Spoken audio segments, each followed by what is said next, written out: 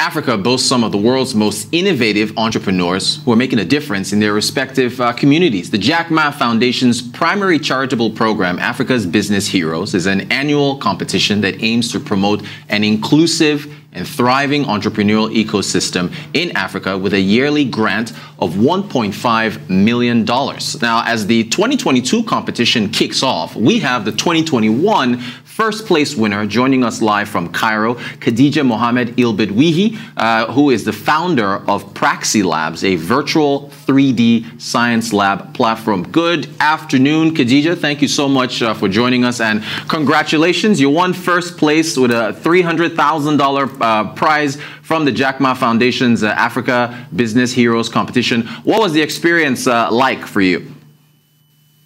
Good afternoon, everyone. It's uh, it's really a pleasure to be with you all and to tell you more about our experience. Um, whenever anyone asks me about ABH, I just say the first word on top of my mind.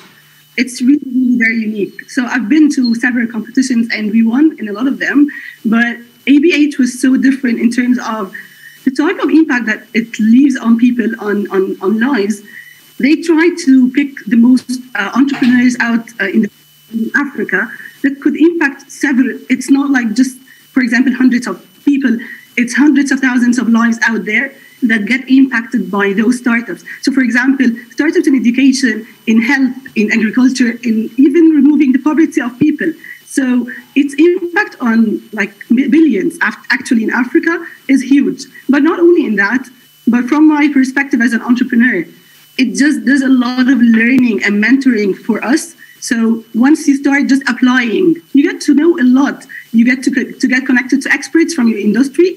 You get to be mentored by the best people there. And then if all goes well, as in our case, you just get to thrive and see how you can win in something like uh, prestigious like ABH. So it's just a thrill to us. Fantastic. Can you, can you speak to the importance of competitions like this to entrepreneurship in, on the African continent? Yes, so, um, for example, one of the things I've seen when uh, speaking with other people out there is that we don't know a lot about each other. We work and we might even work in the same industry with the same audience, but uh, startups uh, um, across Africa do not know a lot about each other. So, this I could say one of the very important things that could happen is just collaboration and network networking between startups and how partnerships can go out of this or can happen because of this. This is only the first thing. But other than that, also making sure that people know that there's some uh, people out there supporting them.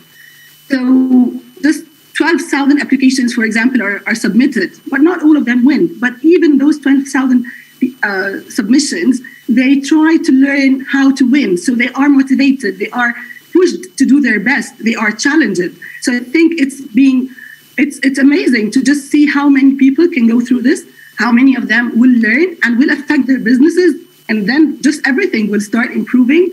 And again, as, as I was saying, it's a huge community getting those people together. Excellent stuff. Now, I want to take a look at some screenshots of your virtual labs over at Praxi Labs. Um, can you explain what, I said, what essentially Praxi Labs does?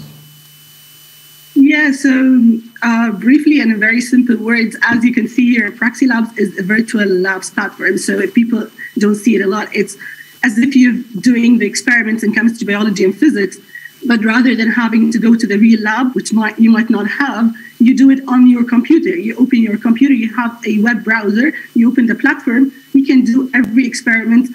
For example, DNA extraction, as you can see, you can go through the experiment step by step make sure you learn it right, you'll do the learning outcomes in the right way. You don't have to go through the safety hazards, not the cost, the expensiveness of any, uh, uh, uh, not only running a cost and running a lab, but even just the consumables. They are very expensive for our countries, and that's only one of the importances of the virtual lab. But also, see how many students can enter the lab at the same time. But with a virtual lab, every student has his own lab and his fingerprints. So it's really, really trying to just make a difference and make lab work accessible to every student in Africa. That is so cool. Now, what you're doing keys into the metaverse. Was, was when you started this? Was the metaverse talk? Was that already had that already begun? Was that part of your plans? And looking ahead, can you see how this can you know link up in there? Yeah, definitely. That's a that's a very nice question. Actually, we've been there years before the metaverse, uh, but because it's it's there and uh, before there was VR, now there's also the haptic feedbacks. So we are always looking at the innovation that is happening around us, the technology. At Praxi Labs, our team is so um, uh, looking forward to always try the new innovations, but we take it very very carefully because we are not after the hype, for example. We are after making sure that this adds value to the learning outcomes of students. So if it's really adding value to education over the time, then definitely we'll be happy to over to, to look to work with it. But as I'm telling you, we do a lot of trials, we do a lot of experimentation with experts and psychologists to make sure this really is affecting students in the positive way and doesn't have any effects, for example, or side effects on their health. So this is very important for us to make sure first. Indeed, indeed. So now the thing is, I mean, your business relies on internet access, and there are parts of Africa that still lack, you know, internet access uh, accessibility. Are you optimistic about that improving over time?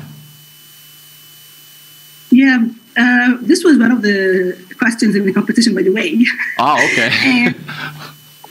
we're very curious about it because we are impacting Africa, so we need to have solutions for Africa.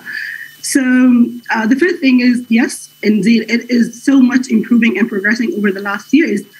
But say, having said that, on the other side, we are working on our own plans to make sure we don't have anything or any blocker in our way to reach all the students in Africa. And that's why we are working so hard to release our native app very soon. It will help with a lot of issues in the internet, but also with the infrastructure. So not all the students there have laptops. A lot of them are used to uh, their phones and their tablets. So we are very optimistic about uh, being able to help using our native app very soon.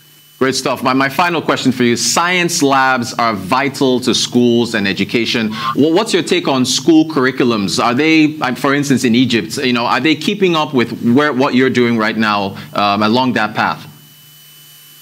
Yeah, actually, um, this is one of the toughest things I, I can see in, in Egypt. Of course, it, might be, and also in a lot of places, but in Egypt, it's something that is really dif- difficult uh, to make sure that you change all the curriculum, but also not just change it again. It's not like a hype or just going with the innovations, but make sure that it is really the, the, the right the right uh, uh, the right thing that your students needed in terms of being able to make sure that we have these teachers that are ready and developed to teach this these curriculums. So it's not only changing the curriculums, it's changing the curriculums, but also having a lot of teacher development. So I believe that our uh, government has been um, uh, working hard over the last years to make sure of those two aspects teacher development and also changing the curriculum and making sure we are up to date. It's not yet there, but I'm sure that we are going on uh, the right track and we are moving uh, progressively. All right, thank you so much for joining us. It really, really has been uh, great to talk to you. Congratulations again on winning the Africa Business Heroes Award from the Jack Ma Foundation. Khadija Mohamed El uh, Ilbidwidi from Cairo, uh, founder of Praxi Labs, thanks for your time.